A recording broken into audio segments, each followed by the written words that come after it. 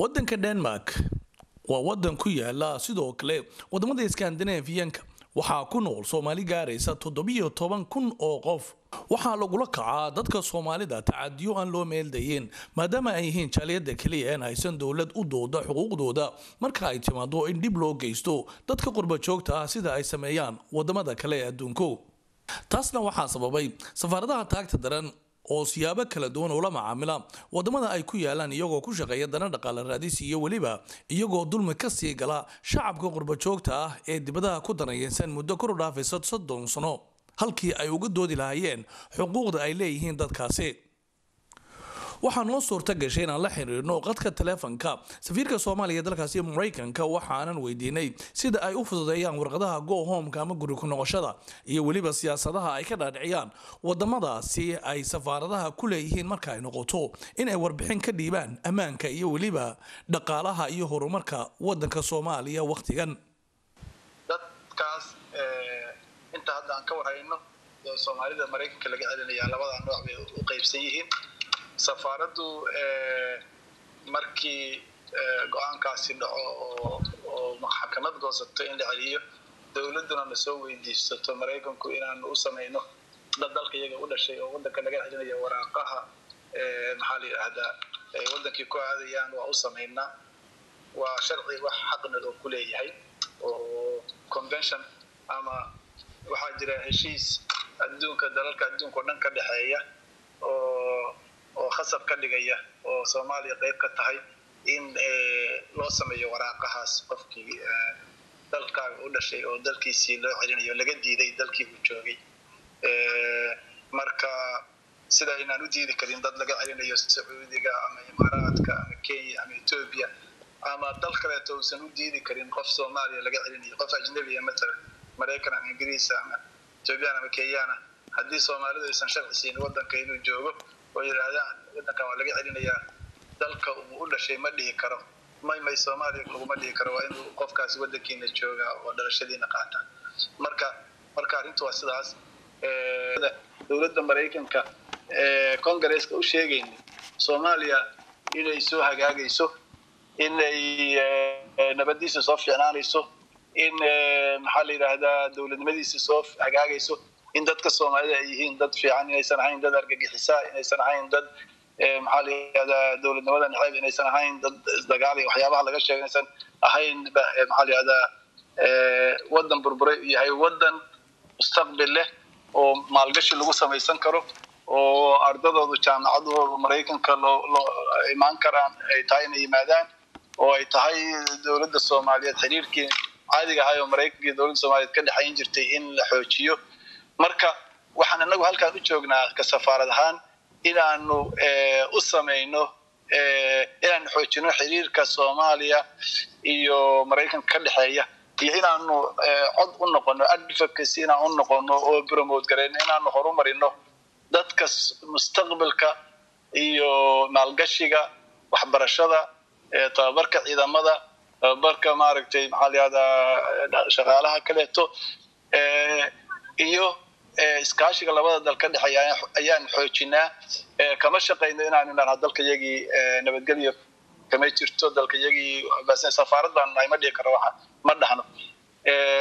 Beenana maba sheegayno waxa hadda aan kuu sheegay aanu sheegnaa waa run waayo dalka iyagii hadda nimanka xoogaa argixisada ah oo dadka si randoma si maaragtay waaliya meelun isaga wereeray isaga weeraraya mahine dalka iyagii nabadgelyo la'aan kaleeto aanu ku ognahay ma jirto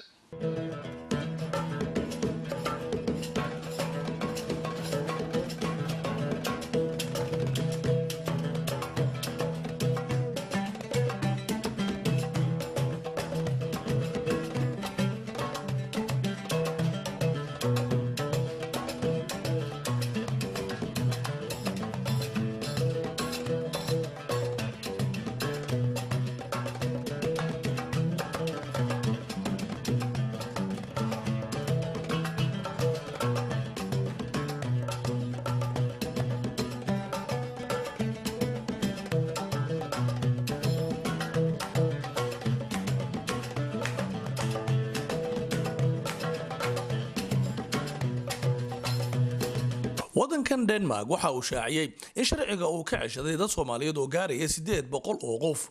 Dadkan ayaa haystay sharciga deganaanshaha muddo dheer waxayna isugu jiraan dad qoysas u badan oo muddo deganaa wadankan waxaana loo sheegay in koonfurta soomaaliya ay amisom wakhtigan ay nabadgelyadeeda sugtay.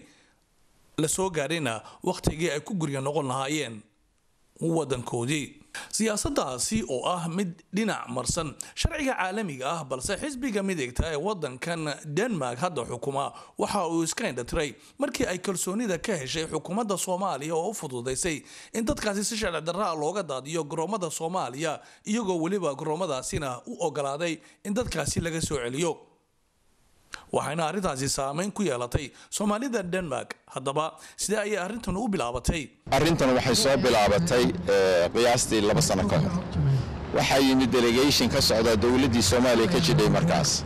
Delegationkaas halka yimid wuxuu watay mashruuc uu ku marayay skandinaviya oo dhan oo heshiisyo lala gelahayo dowladaha skandinaviya in ay dowladda soomaaliya soo dhoweynayso dadkeeda halkan joogay qaxootiga ee ama sharciga loo diiday amase xataa kuwa sharci haysta ee wakhtigii ku dhammaaday in la celiyo inay dowladda soomaalidu aqbalayso.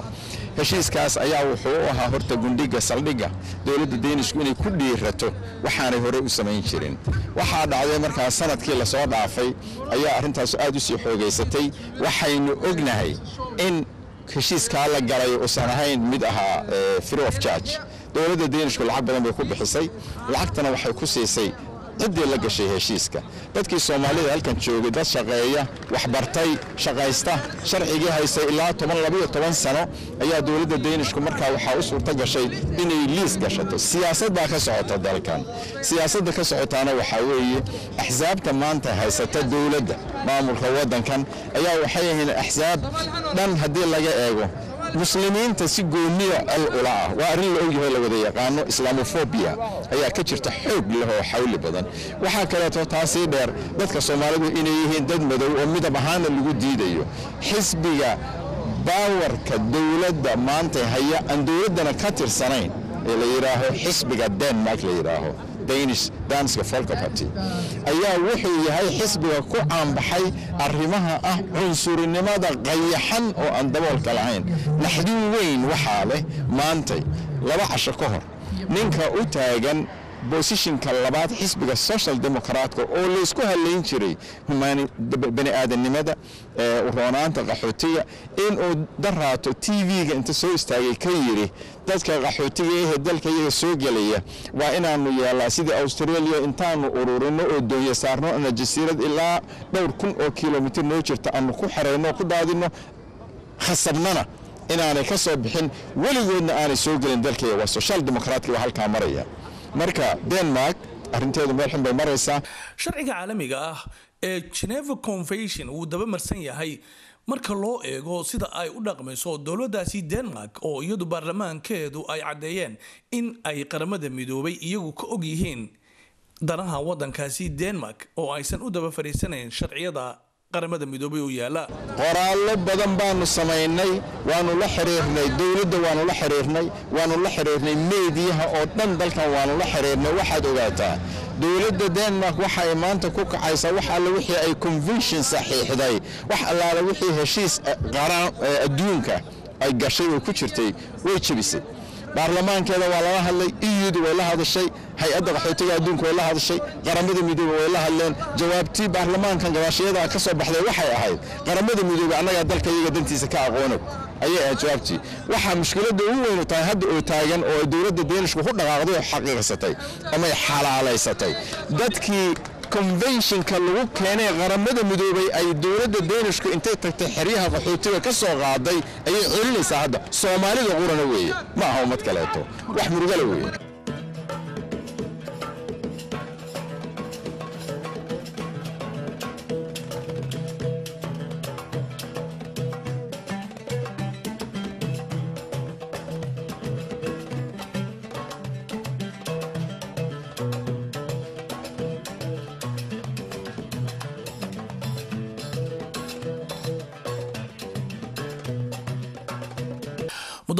ugu ballaarnaa. Intii soomaalidu ay degtay denmark ayaa lixdii may labada lagu qabtay afaafka hore ee guriga baarlamaanka waddankaasi looga taliyo ee ku yaalla xarunta waddankaasi denmark ee copenhagen. Mudaharaadkan ayaa waxaa ka soo qayb galay boqolaal soomaali ah oo ka mid ah dadka sharciga lagala noqday. Waxaa iiga muuqday hooyooyin aada u daalan oo watay caruurtoodii kana kala yimid. Magaalooyinka waddankaasi uu ka kooban yahay mudaharaadkan waxaa soo qabanqaabiyey dhallinyaro iyagoo ka tirsan ururka jaaliyadda soomaalida denmark. Ujeedku waxay ahayd inaan soomaaliya in istaageerto iskacan qabato tahay oo ahayd dadka sharcigala iyo dadka sharcigala aan kala duwanayn oo aan soomaali nahay dhanishka ma kala duwanin? Ninku dhashay ninkuu koray halkanba taasna doon muujino oo bulshada muujino maanta. Waliba baarlamaanka iyo siyaasadda fadhiya ma rabno ayn bulshada bulsho iyaga hadhow dooranaya. Taasay ahayd hadafkaygu. Walaalo wallaahi dee waa la damqanaya. Haddaad qof bini aadan oo oo muslim oo soomaaliya weliba tahay waad damqanaysa. Haddaad damqanina damiir ma lihid maxaa baasboor weyn baan leeyahay oo halkan iska shoogaya iska shiifsanaya cadaalad maaha. Hadhow si dhalinyaro ku dhaladay iyo ciyaal ku dhashay hooyooyin iyo aabas qabaal ku dhashay ayaa la eryayaa taas cadaalad ma hadde maxaa loo eryayaa waddankooda ma ayna jeclayn laakiin way rabeen ku noqdaan laakiin ina wax ay ka hor tagoogayso maaha in wax ka hor yaalo meesha. Taas ma jirto haro saamo xun bay ku samaysa si aaday noo taabatay dabcan qoys soomaaliyeed oo hadda aan garanayn miyuu sii joogayaa miyuu noqonayaa qofku inuu intuu inuu noqdo ku talagalaa wax mushkilada male waa waddankiisii laakiin welwelka aad ma joogaysaa ma noqonaysid miyaa ma albaabkaa berri boolis kugu soo garaaci doonaa talo mise ma waa mushkilad weyn oo qoysas badan oo soomaaliyeed haysata. Anagu maadaama soomaalinahay wayna saameynaysaa shaki ma leho qofku qofka walaalkiisa haddana dareenkiisa la qaybsado waa loo baahan yahay. Midda kale xeerarka kale waa xeerar dadka tamarta yar lagu soo bilaabo.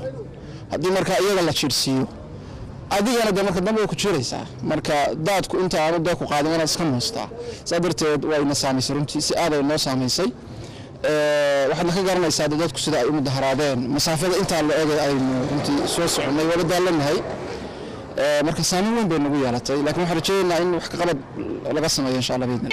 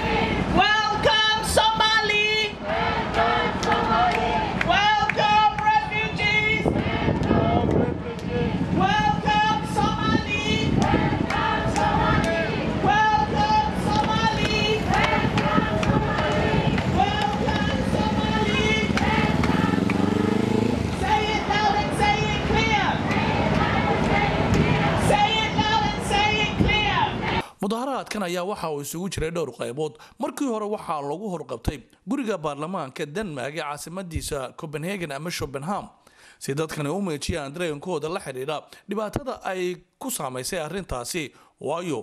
Waa qoysas carruur wata caruurtoodu inay aadaan. Noloshuna way adag tahay haddii qofka sharciga lagala noqdo. Sida caadiga ahayd waxaa la bilaabay socod dheer oo lagu marayay waddooyinka halbowlaha waa caasimada copenhagen ciidamada ammaanka waddooyinka ee booliska ayaa sugayay.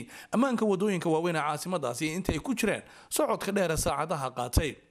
Howlwadana sahan ayaa iyagu waxay garab socdeen tan iyo markii mudaharaadkaasi uu ku soo gabagaboobayay.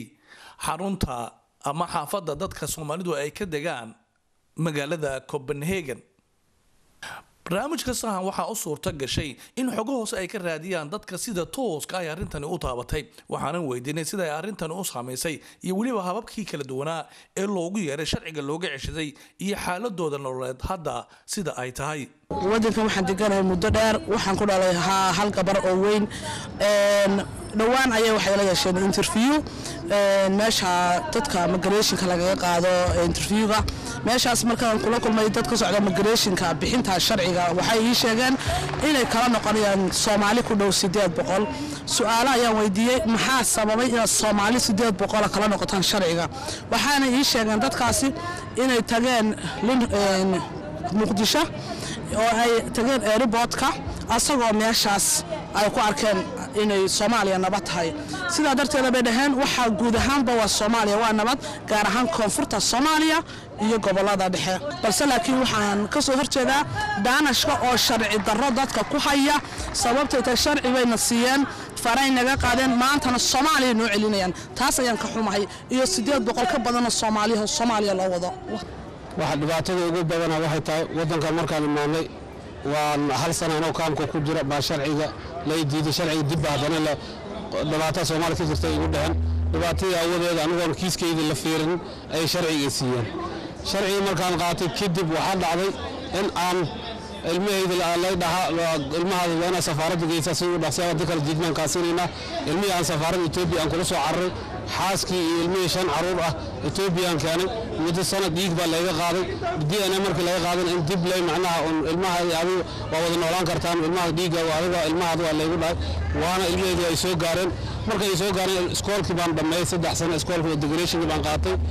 Ilmihii kadibna ilmihii iskoolaadkii bay wada aadeen.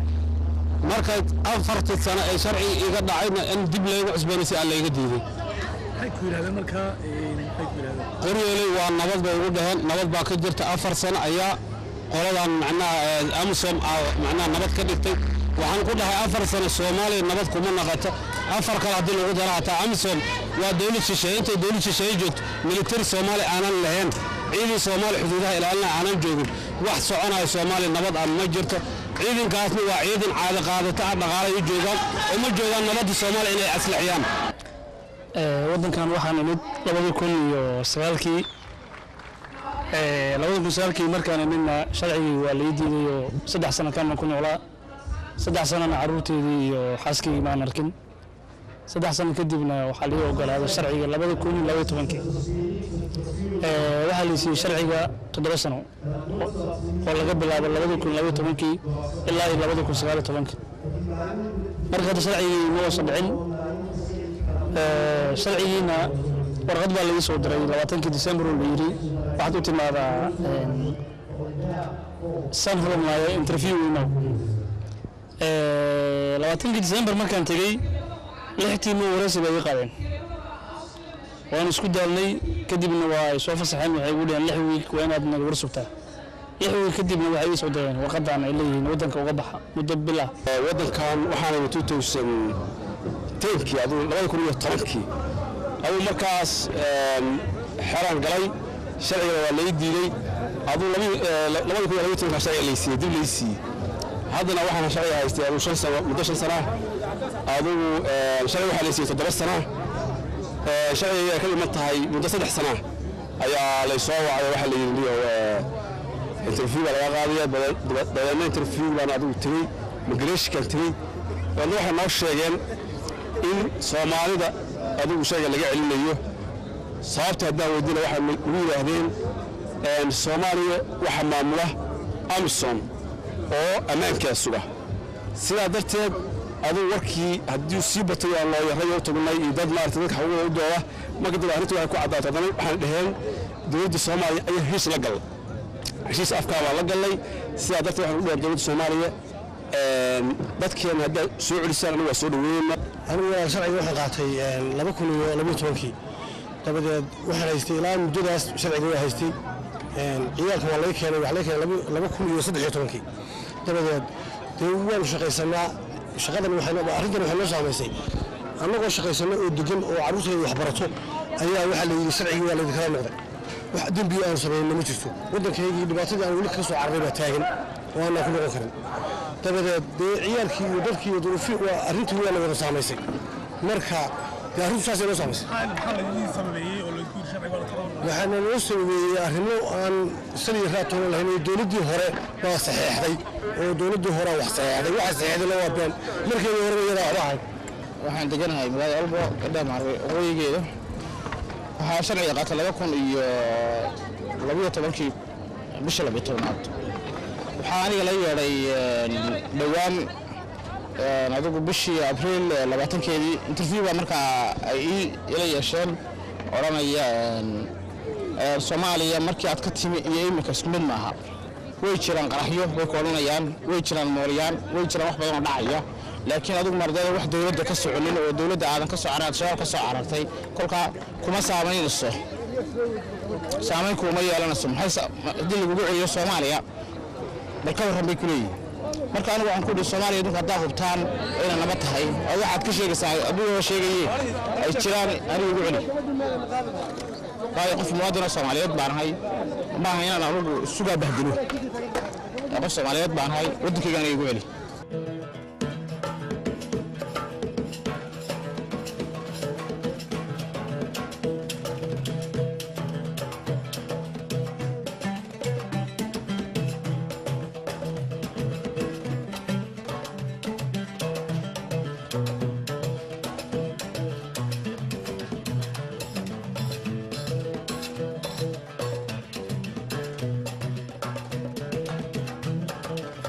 mustaqbalka iyagu waa mugdi. Mana ogin waxaanu ku dambayn doono annaga iyo caruurteennu balse fariintani waa fariin ku socota xukuumaddu shacabka ay doorteen ee uu madaxweyne u yahay.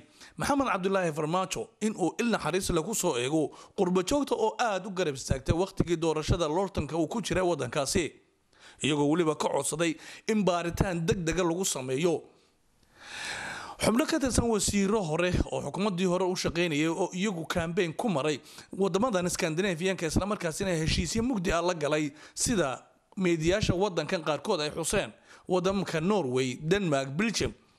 Taasina waa mid looga fadhiyo siyaasadda arrimaha dibadda cusub ee wadanka soomaaliya in ay wax ka qabato islamarkaasina ay xog waraysi ugu timaado inay la kulanto dadweynaha soomaaliyeed ee qurbajoogta ah ee iyagu ku daranyaysan qaybo badan oo ka mid ah waddamada skandinafiyanka runtii arrintan waa arrin saamaynteeda leh waxa weeye dadka soomaalida waxaa ugu badan waxa waaye waxaysan garanayn mustaqbalku wuxuu noqon doono berri runtii xataa lama oran karo waa dadka cusub keliya laakiin sharciyadan dowladda cusub hadda samaynayso waa wax soomaalida dhan ku wajahan. Already hadda dadka ay intay la kulmeen interviewga la yeesheen oo negativeka siiyeen waxay u badan yihiin dadka cusub oo saddex sano iyo wixii lamida jooga afar sano. Laakiin xataa waxaa ognahay cases dad muddo badan waddanka joogay. Marka saamaynta ugu badan waxa weeye qof aan garanayn biritoole qorshihiisii iyo noloshiisii halkan uu ka samaystay. Ma sii soconayaan asbuuca dambe maxaa qorshe kuu ah?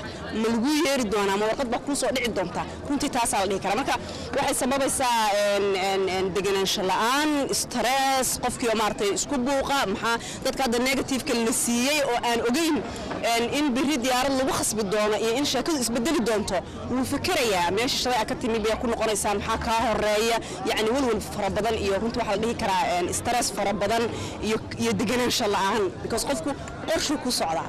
Marka haddaadan garanayn biri wixii lagu dhihi lahaa iyo wixii kugu dhici lahaa dad waxaa jira hadda already interview lala maray laakiin weli positive iyo negative midna aan la siin.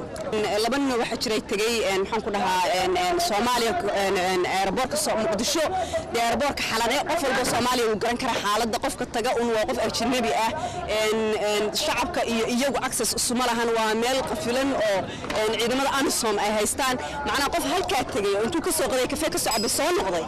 Waxaa mucjisaa sidee buu xaaladda waddanka iyo ammaankeeda uu ribood dowlad dhan ku kalsoonaata u siin karaa marka waxa ugu daran waxa waaye riboodka khaldan oo dowladdan la siiyey sweden way ka hadashay waa loo gudbiyey. Waxay dhaheen riboodka kuma kalsoonaan karno umana cuskan karno inaanu dadka ku celino. Marka laakiin dowladda denmark waxaa moodaa inay weli ku adkaysanayso laakiin waxaan isleenahay waa laga adkaan doonaa. Dowladda soomaaliya waxaanu u gudbinaynaa fariin cad oo ah ummaddan soomaaliyeed kuwii dalka joogay baad la kufaadhacaysaan oydan waxba u haynin abaar iyo baahi iyo ammaan darro ayay ku joogaan xamar maanta. Wiilkii dhallinyarada ahaa ee soo noqday wasiirka ka noqday waa tii daraa lagu dilay ammaan darro daraaddeed. Dadka kanu way nool yihiin markii ay noloshoodaa sugaan dalkiina nabad noqdo uu hagaagana way soo laaban. Kumaan kun boqolaal kun oo soomaali ah oo dhibanayaal ah ayay dadka kani maanta masruufaan oo kafaalo qaadaan dowladda soomaaliya waxaan leenahay dib u baara malafka yaalla ee dowladdii idinka horraysay ay ka tagtay heshiisyadii ay la gashay skandinabiya oo xaaraanta ahaa oo lagu iibsaday ummadda soomaaliyeed halkan ku dhaqan carruurta iskuullada dhigata ee maarta madaxa la soo qabanayo oo laga daadinayo muqdisho.